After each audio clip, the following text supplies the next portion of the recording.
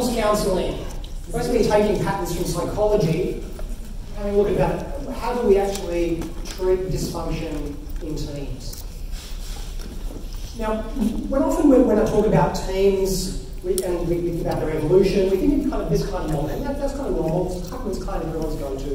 You know, as long as you don't think of it in, in, a linear way, we, we don't evolve because of forming, storming, norming. It kind of goes to and fro and backwards and forwards. But when we think about dysfunction in a team in particular, we're talking about something slightly different. Dysfunction is actually impaired or abnormal function, particularly in relation to unhealthy interpersonal behaviour interaction within groups, between groups, etc. And it was this that I found, found myself when I had to travel from my home in Canberra, uh, about three hours uh, to a place called Wollongong. Lots of double letters. Um, there was a team there which wasn't, um, they were there in Wollongong separate from a whole bunch of their other teams in a scaled, agile environment. Um, and pretty much I was the one that they called on in this environment when teams were going bad. Hands up if, if you've ever experienced a team going bad before. Yeah, is that much fun? No. No. So what kinds of things, well, when a team goes bad, what kinds of things do you normally see? Shutting down. Shutting down? Backstabbing. Backstabbing? What else? Low productivity? Blaming? Yeah, you've been there. So often people turn to Patrick Lencioni and his five dysfunctions of team when they want to think about what are some ways that I can help my team be better. And he kind of created this nice, nice pyramid, etc. Uh, conflict here, where he goes, yeah, conflict, yeah, demand debate. Now this is really good, and I don't mind Patrick's stuff, but it is a fable. It is basically his made up idea about how, how teams work. And for me, that's not quite good enough. I'm a science practitioner, I've got a psychology background, and a linguistics background, and what I, look, what I look for, as Dan did this, this morning, I look for the research, I look for the science, because I want something that's repeatable. If I do it with one team and, and put my, my psych hat on and look at a team's behaviour, team, I want to be able to use that pattern to be able to help another team. If I see certain kinds of behaviours, I want to go, has this worked? If it does, great, is repeatable? Does it measure what it's intended to measure? So this team, I thought there's, lots of ways, lots of different coaching stances that I could take. I could go in there and try to be their best friend, be their mentor, build trust, build rapport. I might do some training, etc. But I thought, no, what I really need to do is to, is to adopt a counsellor perspective. I need to look at what kinds of what kind of structure is going to help me to resolve and manage that dysfunction. And that means listening and empathising, managing conflict, not resolving it, but managing conflict, and focusing on listening in order to, to try to um, deal with the symptoms of these issues. And my go to when it comes to looking at dysfunctional uh, interpersonal relationships is uh, Dr. John Gottman. Now, this guy has been doing this for decades. Longitudinal studies, 33,000 couples, over 20 years. The stuff that he's, that he's found, stuff that he's found is pan-cultural. It doesn't matter what kind of culture, what kind of background, socioeconomic status, pretty much it can predict with 90% accuracy whether or not a divorce is going to happen in a married couple. And that's both heterosexual um, and um, and same-sex marriages. So this is pretty serious stuff. And he calls the main four factors in terms of when how, how this, this interpersonal relationship, relationships are going to break down. He calls them the four horsemen. Four horsemen of the apocalypse. And they are contempt, defensiveness, stonewalling, and criticism. So that's where I started with, this team. I thought, well, what is it? Am I seeing contempt in the way that the team engages. Now, contempt, as defined by uh, Dr. Gottman, sarcasm, belittling, cynicism, hostile humour, uncaring behaviour. And that's what I was seeing. Things like, oh, your testing was good, for once. Or responses like, oh, well, you just can't take a joke. These are all symptoms of contempt. What about defensiveness? Defensiveness is a really interesting thing because it's about not owning the behaviour and basically seeing any response as an attack. And so trying to attack back. And strangely enough, some of the behaviours I was seeing, well, you're not testing fast enough, or your code is always broken. So always kind of trying to throw the ball back at someone else, as opposed to going, yeah, look at my, my, my behaviour, the way that I work, it could be better. Or we could be working better. It was all, all defensiveness. What about stonewalling? Well, stonewalling is all about withdrawal. withdrawal for, for conflict. And unlike Patrick Lencioni, where he goes, yeah, like, to, you know, call it out. Um, in cultures like Australia and a lot of other South, Southeast Asian countries, like, we, we don't like conflict at all. And I'm sure a lot of you don't either. So the kinds of behaviours that, that I was seeing was things like um, when someone would ask a question, kind of getting a non-answer in response. Oh, when, when will this be ready? When, when, will it be, when will it be good? When do you think you'll have an answer for me? Oh, look, as Right, last one, criticism. Right? This is verbal attack, personal attacks on your character or even your work. And again, the kinds of behaviours that I was observing, things like it's always your fault, your code is terrible, even though it might have been functional. So we're seeing a lot of this kind of behaviour. The question is, how do you treat it? How do you treat the symptoms of that? And Dr. Gottman has this great model called the Sound Relationship House, built on two very strong pillars. The first one is trust, and the second one is commitment.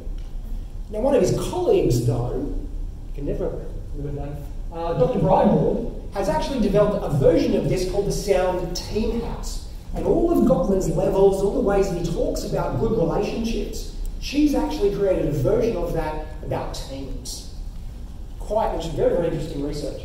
And it starts off with look, we need to be able to develop colleague maps, understand positive feedback, respond and engage, understand the nature of perception and reality, managing conflict, career advancement, and shared culture. That's some of these things that I'm going to go through with you today. So first thing, managing conflict over resolving conflict. Strangely enough, about 69% of all conflict in human beings is pretty much perceptual, perpetual problems. I'm sure you've experienced before, you have to have the same argument over and over and over again. It doesn't matter whether it's with a partner or with your kids or with team members, 69% of them are probably unable to be resolved. And actually, 16% of those actually have hidden agendas. They're actually because of other things are going on. The thing that you're arguing about isn't actually the thing that's actually the root of the problem. So one of the first patterns that I started to talk with their Scrum Master about was this one called It's Not All Your Fault. In a blame culture, we're very much in, in attack mode. It's all, it's all your fault, your fault, not my fault. And so with, with the Scrum Master, I said, look, let's actually make it safe to state when there is an issue. When you do see an issue, please let me know about it. Let's understand if there are actual potential problems going on and what the nature of those are. And we started then to engage team members one-on-one not in, not in a formal way, but sometimes it was over coffee, sometimes it was going off to lunch, sometimes it was just corridor conversations. Reassuring and, reassuring and affirming that look, we're going to start to be a little bit more open about these kinds of things, not in order to be destruct, just destructive and critical. Because what we wanted to understand was that, well, we're all, we're all actually a team here and your problems are my problems. So it's not all your fault, this is our fault. If we think about the way that um, the Toyota production system, lean works, it's the system of work. We have a system of people. People do the work. And if there are things going wrong, we step back and go, well, what is it that we're not doing that's failing the people working in this system? And let's actually think about adjusting the system so it does actually create an environment that we get the best out of the people working in it. So that's where we started, thinking more from a system approach. So the things that um, I then did, particularly with the product owner and the Scrum Master, you know, the, the leaders within this, this team, was to be able, be able to help them understand and recognise aspects of conflict. Now, of course, you're chilling out, you've had a great lunch, kind of in a low emotional state. I don't know, maybe some of you are excited to, you know, to be here with me. Um, and you know, your prefrontal cortex, the way that you think, it's kind of cruising along. Your amygdala, not so much. But in a high emotional environment, when you're actually having conflict, basically your prefrontal cortex gets completely overridden by your amygdala. You go into fight or flight mode. This is a physiological and neurological activity that's going on. You're completely rendered speechless. You are not capable of logical thought in this kind of environment. Your BPM goes over 100, and all of those horsemen, contempt, defensiveness, stonewalling, criticism, they all come out. Because basically, because you're not thinking logically, there's no, you've got no mechanism, neurologically speaking, to stop saying all those horrible things that you would probably never say if you were in a low emotional state. So I'd like you to think back to last time that you kind of lost it. You kind of lost your temper. And I want you to think on a scale of 1 to 10, what was kind of that tipping point? On a scale of 1 to 10. I'd like you to think about how did you actually feel at that point? How did you feel? 12 something. Don't tell me. What I'd like you to do If everyone got kind of an idea when, when they last? Bossy has a few nods, good, all right. I'd like you to turn to the person next to you, or if you're in table three, obviously in threes, I'd like you to actually talk about your score and relate the context, who it was with, and how you felt. I'm going to give you about five minutes as time box to have that chat. Let's meet at work or. I've been getting conflict. So the term is flooded. Thank you. So um, who, um, who'd like to talk, uh, let, let me know their, their score? Sorry, what? Their, your score? Yes. Six? Um, do you think it differs, like your score differs, uh, depending upon the person you're kind of getting angry with? Yeah. Yes? What about the context? Yes? Did anyone have radically different scores? Yes? Yes, I do have different scores at work and at home. Different scores at work and home? at work and at home and with different people. As well? Yeah. Do you find that there's probably people that you're a little bit more patient with and you can probably go to about nine or so? um, when, when I was, um, I have a um, friend back in Australia, Bern, he's German, and for like just about everyone, his number's like two. And it was like, like, dude, what's going on? He went, well, because he's German, but basically, it's, you know, by the time he gets to two, he just feels that it's okay just to say whatever's kind of on his mind. but like, but, your numbers to be different depending on a whole range of things. And it's those things to kind of be aware of when, when we think about when we get into a situation where we can feel ourselves kind of, the anger kind of starting to, starting to stir, you kind of might get a bit fidgety and go, Ugh. but remember those feelings. And importantly, be really, really aware. So this is Patton's called Calm the Farm. Um, a friend, friend of mine, that's what her son says to her when, she kind of gets in a bit of a flooded state. Goes, like, Mum, just calm the farm. But like, if, if you're in, if you're in, in, um, in an engagement with, with someone and, um, and you can kind of start to feel yourself get, getting flooded, saying to the other person, calm down, like, like what they actually hear is like, what? Can't, can't have feelings. Like, are you saying that I'm overreacting? Or like, oh, shut up, you're overreacting. Well, well my, my feelings and opinions aren't, aren't they worth listening to? Um, or, um, or, or this one, like, I, I know how you feel. When, when you say that, what, what the other person hears is uh, you're saying, like, I get it, so stop talking. Maybe that's what you mean, actually. That's probably what Like sometimes in, in, a, in a situation where we're trying to show empathy, but the other person is being flooded, this is what they hear because they're not thinking logically and rationally. so the pattern that I introduced to, to this, this poor team, um, we started to talk about uh, very similar exercises that we've just done around, around the term flooded. And I encouraged them to call it out. Like if they felt that they were being flooded, I said, look, it's okay, and we should all accept it. You're allowed to say, I feel flooded. Um, and for them then, it was the trigger word for them then to go and um, what is called um, self-soothing. It really just, just means um, set, a time box, because you don't want to go away, because you know, we're having an argument, everything's getting in, and I go, I feel flooded. If I go away, like suddenly you feel abandoned. Oh, like we were having a discussion, like it was really meaningful, but unfortunately, you know, we both kind of got kind of over emotional. So set a time box, and that time box is actually the, time to go away, self-soothe, and come back. So it might be you walk around the block. Yeah, the idea obviously isn't to think about like, oh, David, David, if I had to, had said that, then I would have just got you, and yeah. It's, so it's not to go away and plot murder.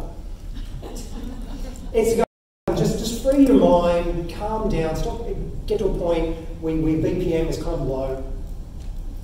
Um, and so you can come back and engage in a much more rational way where your prefrontal cortex is actually engaged. You can think logically again. Um, so when you come back, you're allowed to complain, but not blame. And the difference is, but complaining isn't saying, look, I feel left out, lots of I words. But criticism would be, well, you never asked me. And often it's kind of with a finger, you. So think about, use I words. Describe what happened, but don't evaluate or judge. So just the facts. What happened, particularly from your perspective. And you can do that quite easily if you move, move the sense to just oh, I, put it up. Be polite, appreciative, and importantly, don't store things up. Don't bottle it up. But now that your amygdala is kind of playing back seat now, you talk about it in a much more rational way. Really, really habit. I'm in the car. Sometimes I come to America, driving along, the person next to me is like, ah, okay, let's just not come down. You know, I, I sense that you flooded. How about we put some, some music? So that's fine. So what happens though in a heated exchange and in a conflict that's actually really quite bad? How do you actually come back from that? And so for a lot of years we were looking at the repair attempt itself. How do people try to make it better? You know, like a repair attempt might be, gee, I don't think either one of us is really listening to the other right now. Maybe we should try again. Or a repair attempt might be, uh, you know, this isn't, this isn't really what we're supposed to be talking about. We're getting off on a tangent. Or a repair attempt might be, I need a break. Or a repair attempt might be, I'm sorry. I really, I, I really wish I had said that. And we were looking at the repair attempt how was said, and we found that we could not predict the effectiveness of repair from the nature of the repair attempt. And in fact, some people were making repair attempts in a beautiful way. It could have been written by a social worker. And, you know, and, and it, was, it was failing. And other people were making repair attempts in this little clumsy way, and it was successful. So for years we were looking at what makes repair attempts effective, and we didn't find any answers until we started looking at the person receiving the repair attempt, right? And what made the difference was really how much emotional money in the bank they have with that person. In other words, my repair attempt with Julie is going to work well if I've really been a good friend to her, especially lately. If I've been really putting emotional deposits in the bank account that we have. And I've been, you know, been doing nice things, I've been kind, you know, I've been uh, understanding, you know, I've been there for her when she needs me, all those kinds of things. That determines whether she's going to accept my repair attempt. So that's repair attempts. What about trust? What kind of factor does trust play in Gottman's house? Importantly, in order to be able to establish a mechanism to counter horsemen. How do you build trust? Again, you can turn to research because research is going to tell you specifically what it is that increases this trust metric Turns out that trust is built in very small moments, which I call sliding door moments, after the movie Sliding Doors. Because in any interaction, there's a possibility of connection with our partner or turning away from our partner. Let me give you an example of that from my own relationship. So one night I was really wanting to finish a mystery novel. I, I thought I knew who the killer was, but I wanted to really find out. So I put the novel on my bedside and I walked in to the bathroom. And before I even got into the bathroom, I looked at my wife's face in the mirror and she looked sad, brushing her hair. So there was a sliding door moment. I had a choice. I could kind of sneak out of the bathroom and think, you know, I don't want to deal with her sadness, but I want to read my novel. Now that really wouldn't define our relationship any, you know, but because I'm a sensitive researcher of relationships, I decided to go into the bathroom. I took the brush from her hair and I said, What's the matter, baby? She told me why she was sad. Now, that moment, I was building trust. I was there for her. Right? I was connecting with her rather than choosing think only about what I wanted. These are the moments that we discover that build trust. Now, one such moment is not that important, but if you're always choosing to turn away, then trust erodes in the relationship very gradually, very slowly. So some patterns to apply. Looking for sliding door moments is key. Those small moments help to build trust. And they, they'll often appear as bids. So a bid for something like, oh, I don't think that I can do this myself. Or a bid for attention. So, oh yeah, I was looking at this automated test script, um, come and have a look at it. Or what about bid for enthusiasm? Someone saying, oh, I've got some ideas for a new retrospective pattern, bids for extended conversation, bids for play. So is, you know, Matthew, the, the coach, always going and doing things to, to their Kanban board just to see if they notice. Um, yes, I tend to do that. Um, bids for humour, so if someone's seen a funny video that they want to share, or even a big bits for affection. So someone simply doing, you know, a high five or wanting a fist bump, that's a sliding door moment. And a bid is an opportunity to go, and, and it's important to be able to recognise them. Because these are opportunities to kind of build up that bank account. Or bids for emotional support, someone saying they're quite worried, for self-disclosure, so, you know, oh, uh, what, you know, what happened to you when you, because you left early? So have a look, look at things. Another thing to think about in terms of trust. What's the relationship between trust and psychological safety? And it's uh, Edmonds' research, Amy Edmondson's research, if you're familiar with this, is, um, is pretty clear. The, there's a whole range of things that help to build psychological safety. And as psychological safety gets stronger, then things like seek, uh, people seeking feedback, seeking help, actually speaking up when they have concerns, trust plays a significant part in that, but not the only one. And saying and demanding uh, trust, saying, oh, let's talk about trust. And Yevon says, says that there's that, just that conversation itself doesn't lead to trust. It doesn't build psychological safety.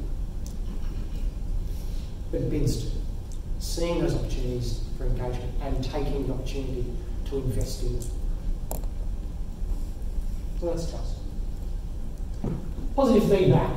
Okay, so five to one ratio is your golden one to try to achieve. Try to find mechanisms to build positive conversations.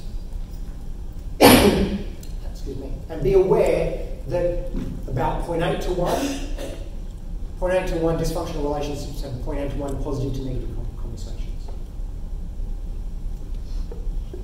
Listen to the conversation. Not only watch for the behaviour and watch for those four horsemen, but listen to the conversations.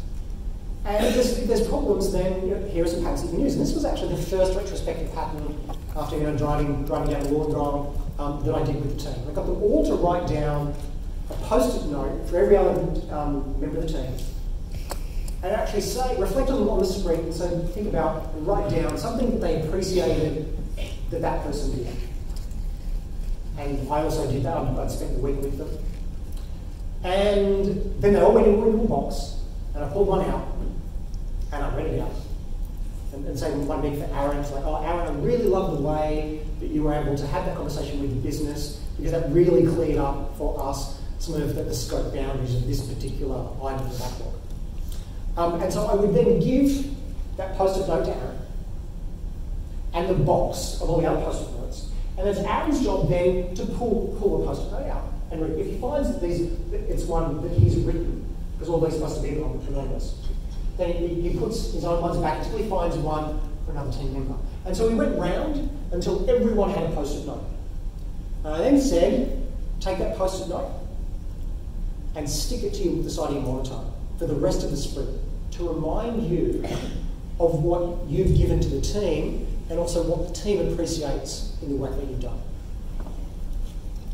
That retrospective output pattern only took us 20 minutes. That's all we needed to start to kind of rebuild those positive communications over the um, this is actually kudos wall from um, a big collaborative planning activity one of my consultants did last week.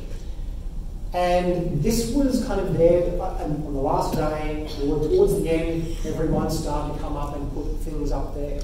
But it was a great, great way to remind everyone um, of individual things that people had done over the two days that really helped to create transparency. This kudos, good act. Right, colleague maps. Really about, again, so we've got uh, ones about communication, we've looked at ones for flooding.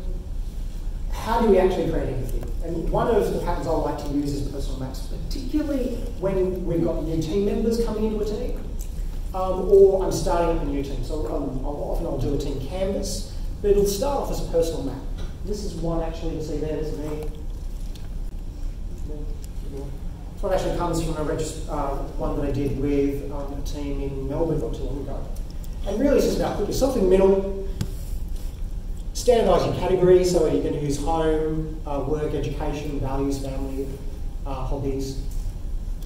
Everyone does one, then they share the map and they take, take turns telling stories.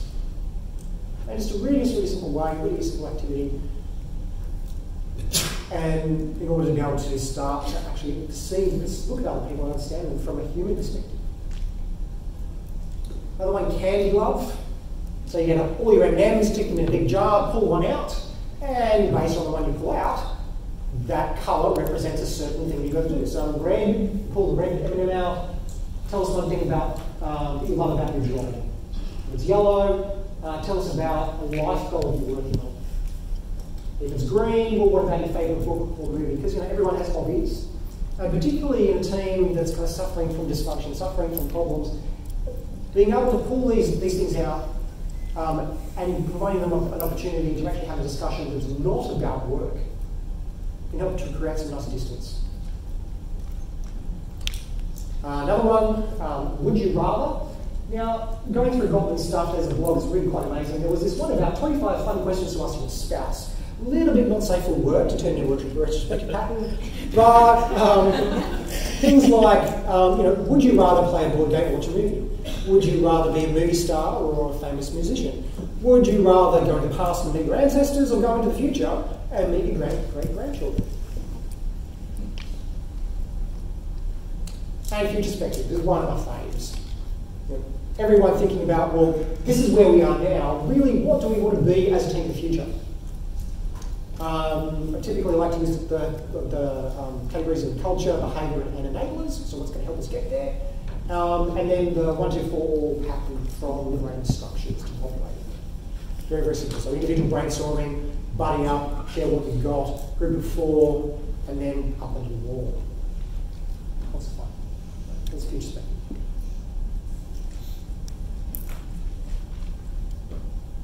Okay, let's wrap up. So after about six months, I sort of came back about every two weeks.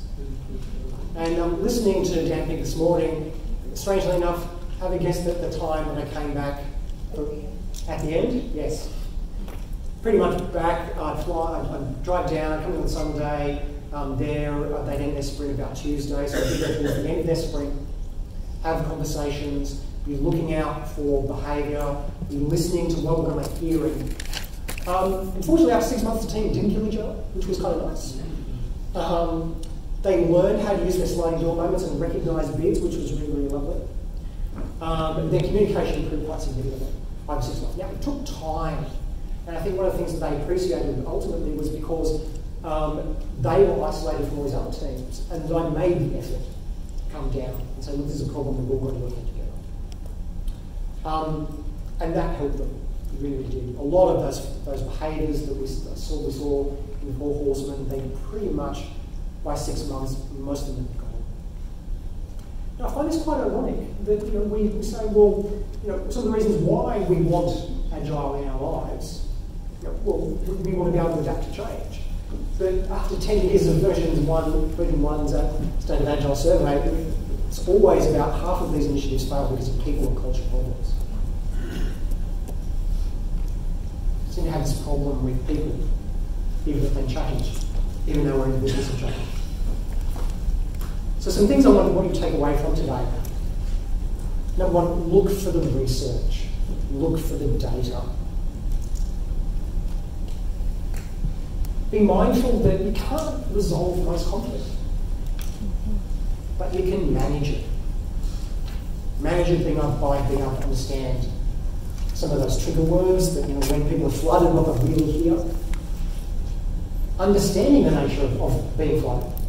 Understanding, like, what does that really feel like? And knowing that in yourself that that's the point in time where you go, I'm, I'm flooded, you know, let's take a time out, let's come back to it in 10 minutes. But importantly, I think a lot of us forget, and certainly my Scrum Master folks forgot in this team, that Scrum actually says when we get to a retrospective, what should we do? Well, we should actually inspect the sprint in relation to people and relationships, as well as process and tools. These are things that as coaches, as trainers, as people who love Scrum, this is something that sometimes gets left out. And this is something that for this team, to help them with their dysfunction, I focus back on that, back on the fact that we're people, that help them get out of. Thank you very much.